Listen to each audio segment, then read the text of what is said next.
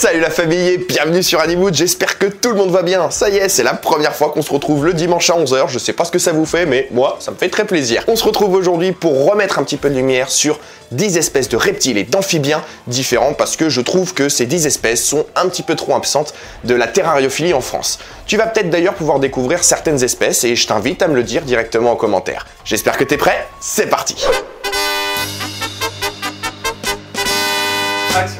Pour le premier de cette liste, je vous ai choisi un lézard que je conseille à un débutant qui cherche autre chose qu'un gecko léopard. Le Stenodactylus petri est un reptile désertique d'à peine 10 cm originaire du nord de l'Afrique. Il est plutôt robuste et peut s'élever en couple ou en trio dans un terrarium de 45, 45, 45. C'est un gecko territorial, il peut donc y avoir parfois des conflits entre les mâles. C'est aussi un fouisseur, il va adorer creuser des galeries pour pouvoir se cacher la journée et sortir la nuit, mais il peut aussi sortir au crépuscule. Il va plus facilement tolérer les erreurs de débutants par contre, il est généralement plus difficile à manipuler qu'un gecko léopard. Ce lézard, il peut être très timide au début, mais une fois mis en confiance, il n'hésitera plus à sortir une fois la nuit tombée, même si tu es encore présent devant ton terrarium.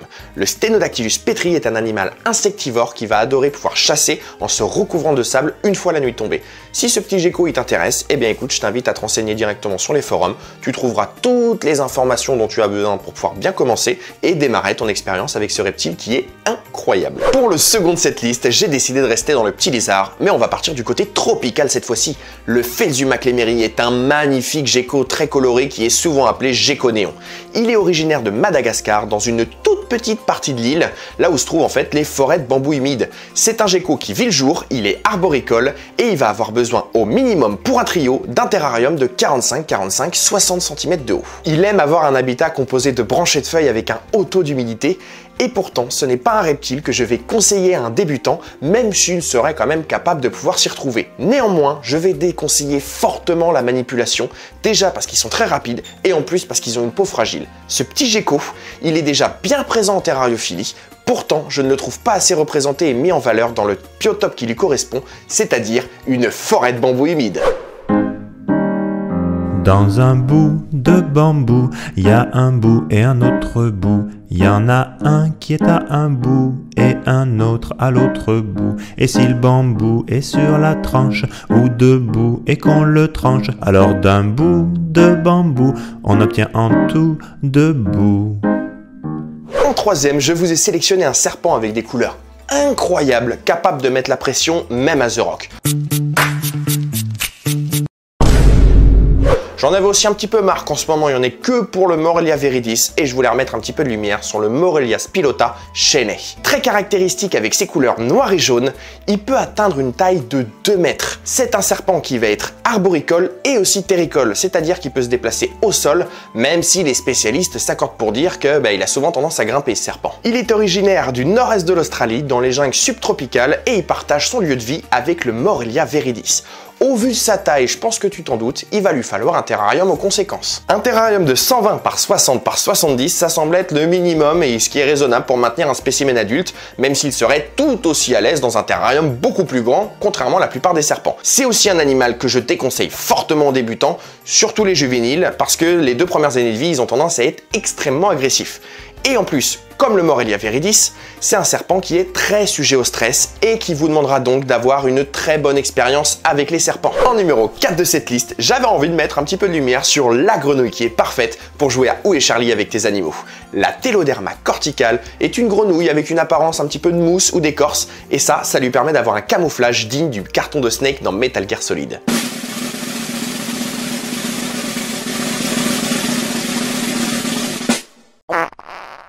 C'est un animal qui a été redécouvert en 1995 dans la réserve du Tam Dao au Vietnam.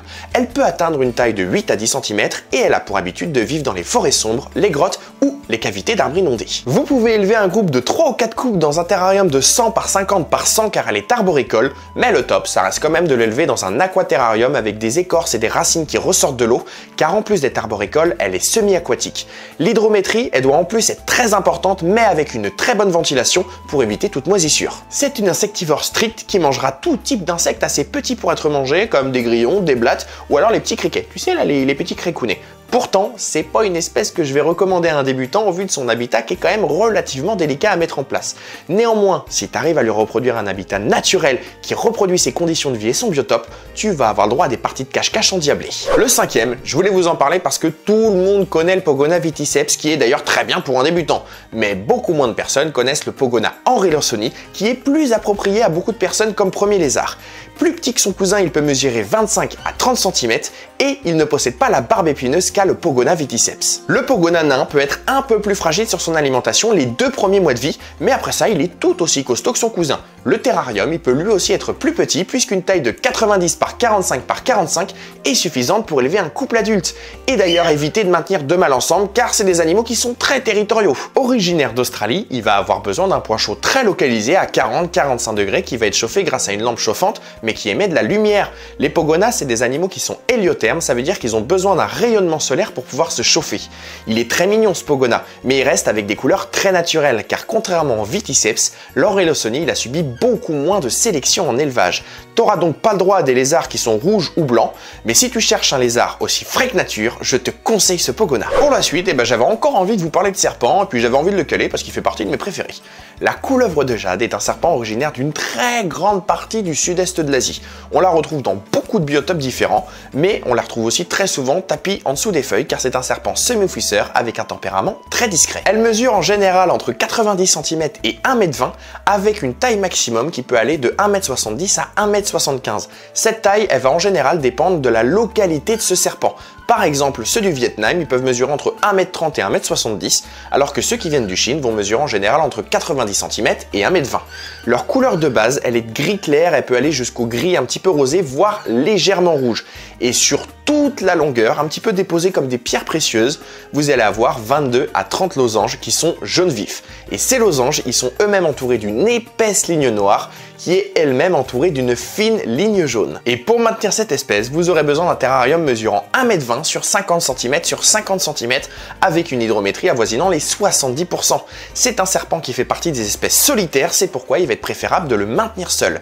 À l'état sauvage, c'est un serpent qui va être extrêmement opportuniste puisqu'il n'hésitera pas à se nourrir de petits rongeurs, voire de petits oiseaux avec leur couvée. En septième, on va parler crocodile, on va parler dragon, on va parler tribolonotus. Mais comme le tribolonotus gracilis est déjà bien mis en lumière, j'ai envie de vous présenter le Tribolonotus novae guineae. Originaire d'Indonésie, ce petit reptile de la famille des cinq est appelé crocodile à cause de ses écailles qui ressemblent à celles d'un croco. Il n'y a que ça, c'est absolument rien d'autre. Donc je vous rassure, on est très loin d'un vrai crocodile ou d'un dragon. Pour un spécimen seul ou un couple, un terrarium de 60, 45, 45 fait largement l'affaire.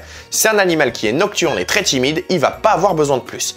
Par contre, si vous le souhaitez et que votre animal n'est pas trop stressé, vous allez pouvoir tenter de le passer sur un terrarium de 90 cm de long en lui faisant une petite partie aquatique.